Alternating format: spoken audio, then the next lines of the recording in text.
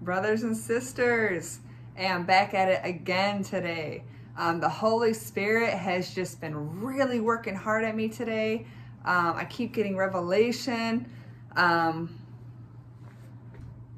every time I read a gospel, um, I get a new revelation. Even if I'm rereading the gospel, um, I think I've read Matthew. This is like my, I don't know, maybe third or fourth time rereading it again.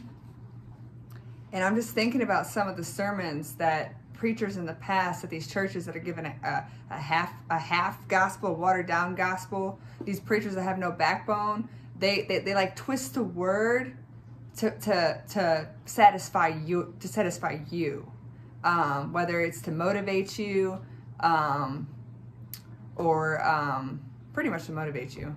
Um, but I was reading about the death of John the Baptist in Matthew 14 today, and I got hit so hard with the Holy Spirit, like like discernment. I got discernment from the Holy Spirit, and I'm just going to go ahead and read the verse first. I'm going to read uh, about the death of John the Baptist in Matthew 14, and I am in uh, the New Living Translation. Um, so, and then I'll go on and speak on it when Herod Antipas, or when um, Herod Antipas, the ruler of Galilee, heard about Jesus, he said to his advisers, "This must be John the Baptist raised from the dead. That is why he can do such miracles." For Herod had arrested and imprisoned John as a favor to his wife, Herodias, the former wife of Herod's brother, Philip. John had been telling Herod, It is against God's law for you to marry her. Herod wanted to kill John, but he was afraid of a riot because all the people believed John was a prophet.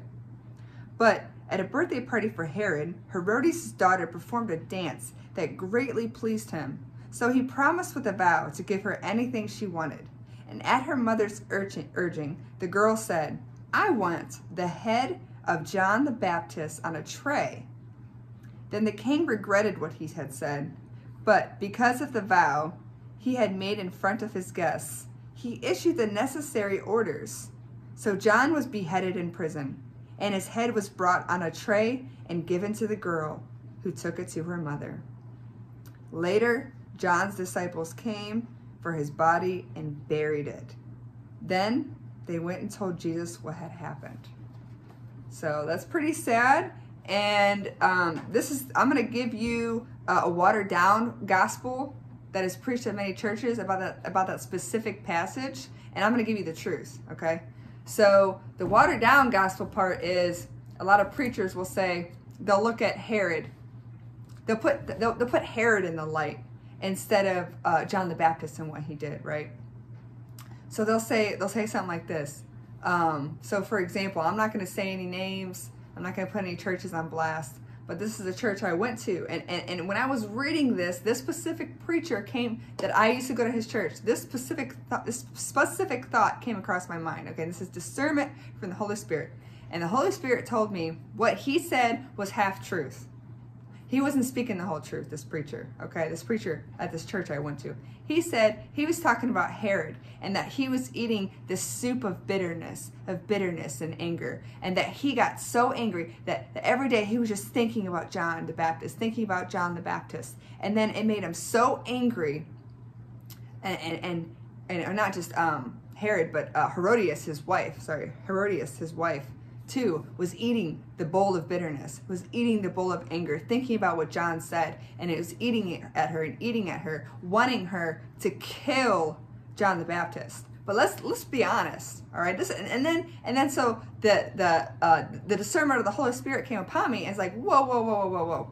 So the discernment put that picture in my mind of, of what that preacher had said before, but that was not the the, the message of, of that of that passage in the Bible of John the Baptist getting beheaded. The message was is that you're going to get persecuted. You're going to get killed when you're preaching the truth because because the light needs to be on John the Baptist in that specific passage because John was being obedient to God.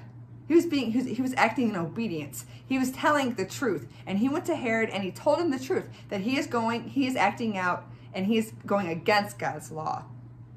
And um, and yes, Herodias may have been eating a bowl of bitterness, but we're not going to put the light on them. We're not going to so, and that's exactly what that preacher that I was going to at a, at a, at a lukewarm tr- church was saying. He wasn't speaking the truth. He wasn't speaking the truth about that's what's going to happen if you if you if you become um, a, a disciple of Jesus Christ. That's what's going to happen. You're going to be uh, possibly murdered one day for speaking the truth. That you're going to be hated. That you're going to be um, you know the world is going to be against you you're going to be persecuted. That's the truth. And that's what happened to John the Baptist because he was a follower of Jesus. So these other churches are doing a, a, gummy bear a gummy bear version of the gospel and just in trying to twist it a little bit and put the light on another character. But really, we know the truth of that message is is that you will be persecuted as a follower because what? Because John spoke because John the Baptist spoke the truth. Okay, that, that, that passage telling people that Herodias was bitter and was eating the bowl of soup of bitterness. And then, and then at the end of the message, this preacher is telling us, don't eat the, don't eat the soup of bitter, bitterness.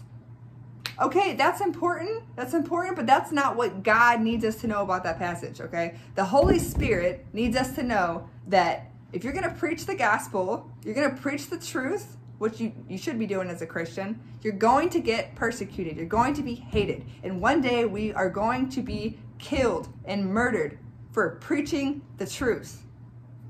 That is what I need to tell you today, brothers and sisters. I pray that you are blessed. And don't forget to like and subscribe to my channel. Have a good day.